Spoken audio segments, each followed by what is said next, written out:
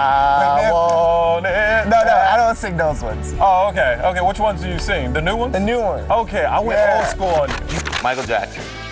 What did he mean to you guys as a group? Oh, I mean, Michael Jackson is, he's legendary. I mean, he was a pioneer of a lot of times trying out things that a lot of people afterwards would, you know, try to imitate, emulate. Um, you know, definitely you can look back at some of our videos like Backstreet's Back. That was definitely, we, we came out there and we told people that was a montage to us of our modern day thriller.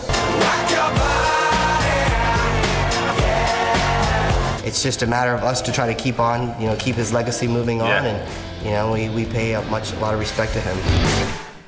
Hmm. Madonna's broken her own record.